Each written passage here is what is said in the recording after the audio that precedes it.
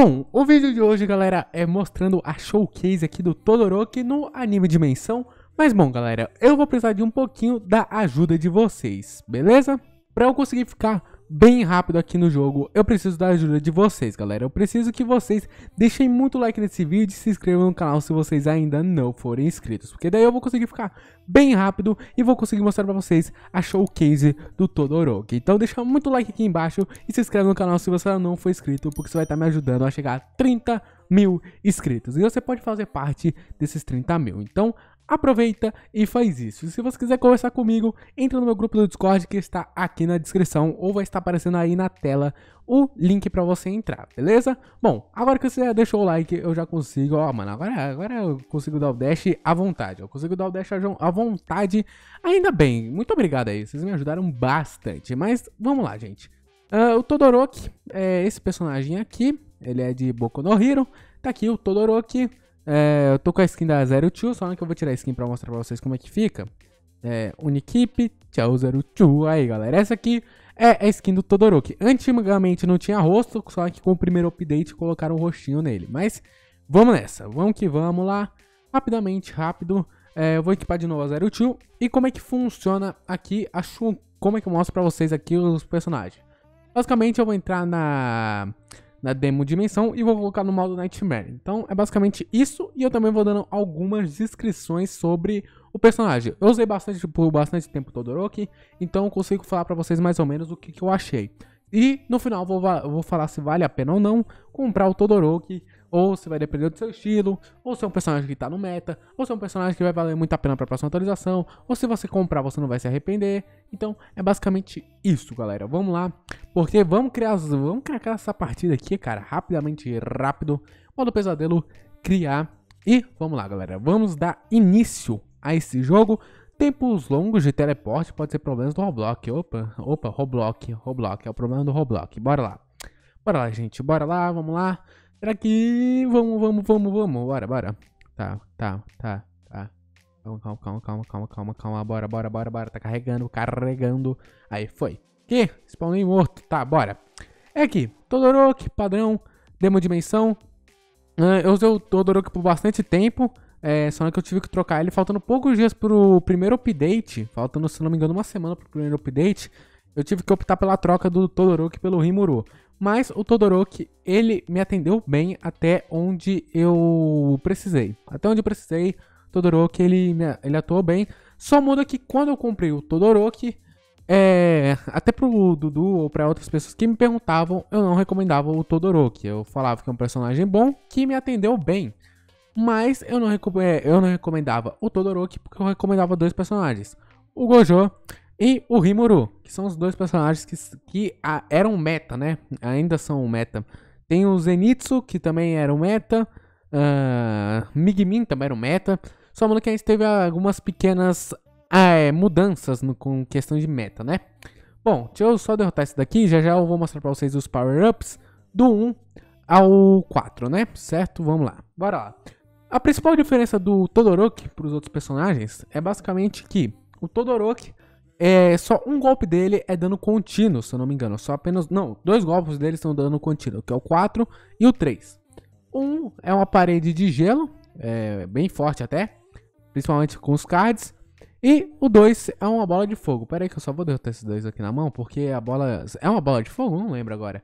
Uh, mas eu acho que é uma bola de fogo. Tá, deixa eu derrotar esses dois aqui e tal. Uh, aqui, bora. O 2 é esse poder aqui. É um. Como se fosse um Kamehameha de fogo. Uh, tá, mas por que que esses dois poderes, é, eles estão, querendo ou não, abaixo? Não são comparados com o Rimuru. São golpes fortes? São golpes muito fortes. O problema é que esses dois golpes, eles só são golpes retos. Eles só são golpes retos, ou seja, é, só vai estar tá pegando o que tiver na minha frente. Ou seja, aqui ó, quem tava mais pro lado não teve dano. E o problema de ter dois golpes retos aqui Uh, diferente do 3, que eu vou mostrar pra vocês, que é o Firewall, é que dá dano contínuo e ainda faz o personagem continuar perdendo vida. Igual é o último boss da nova dimensão. Golpes retos, ele às vezes pode acabar até te prejudicando, porque ó, aquele ali não, não pegou, porque o golpe foi reto. Mas golpes que atingem todo o ambiente, ou a boa parte do ambiente, eu consigo derrotar todo mundo com mais facilidade. Por exemplo, esse golpe aqui, ó. Foi todo mundo embora, numa vala. Mas se eu tivesse usado o 2 ou 1, um, eu não conseguiria acertar todo mundo. Ou seja, eu não derrotaria todo mundo com um golpe só. Então, ó, o problema desse daqui é que é só reto. Os dois primeiros são só retos. E o bom do 3, o 3 é, o melhor, é um dos melhores golpes que tem. Ele só não ganha do 4, porque o 4 ele junta todos os golpes. Ele usa a primeira parede de... Ele só não usa o segundo golpe. Mas ele usa a parede de fogo e usa esse daqui que também é o dano contínuo.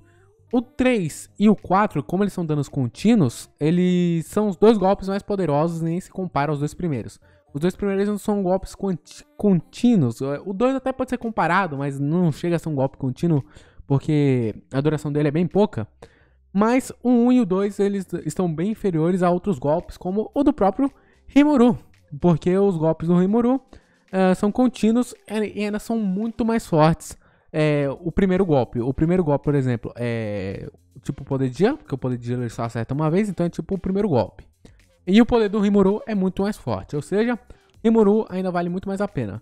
Mas no começo do jogo, obviamente que valia bastante a pena o Todoroki, porque o Todoroki era um personagem novo e ele valia bastante a pena. Mas agora que tem o Bakugou e o Rimuru, que são dois personagens, porque antigamente o meta do jogo era o Rimuru. O Rimuru era o meta, não, tem nem como, era, era só o Rimuru.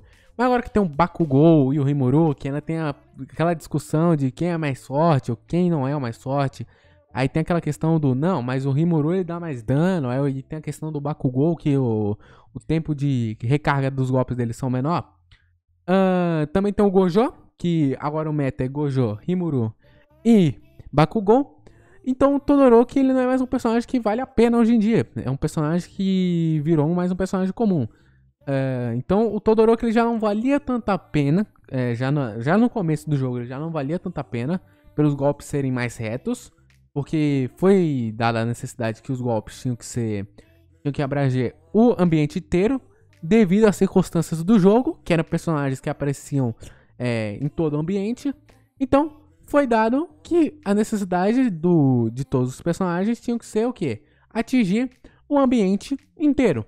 Então o Todoroki, depois do primeiro, ele já não tava, ele já estava sendo um pouco chutado de escanteio, já na já no primeiro, já no lançamento do jogo, porque não era um personagem que, que abrangia todos, só dois golpes dele que atacava todo o ambiente. E quando veio o Bakugou, que é um golpe de dash, e entrou com a concorrência com o Rimuru, Hoje em dia, o Bakugou, ele... Bakugou não, perdão, o Todoroki, ele não é mais viável, tá? O Todoroki, ele não vale a pena. Por 1.600 ele não vale a pena. Se o preço dele fosse menor, até poderia valer a pena. Se ele fosse um personagem de 800 gemas, por exemplo, até valeria a pena. Mas por 1.600 é, gemas, é, o Rimuru e o Bakugou e o Gojo até são os métodos do jogo. Ou seja, se você tiver 1.600 gemas, não compre o Todoroki. Compre o Rimuru, Gojo, é, até o Zenitsu pode ser, mas é, dê preferência pro Rimuru ou pro Bakugou, que são os dois personagens mais fortes. E aconteceu isso. Então, é, minha avaliação final é que Todoroki, ele me serviu bem até a compra do Rimuru. Que quando veio o Rimuru, daí eu vi que não tinha como. É, eu perdi bastante tempo de farm por causa do, do Todoroki. Mas não é um personagem ruim. Mas comparados com o Rimuru e com o Bakugou, tá muito inferior beleza? Mas o vídeo foi esse. Muito obrigado quem assistiu até o final. Valeu, até mais e tchau, falou, fui.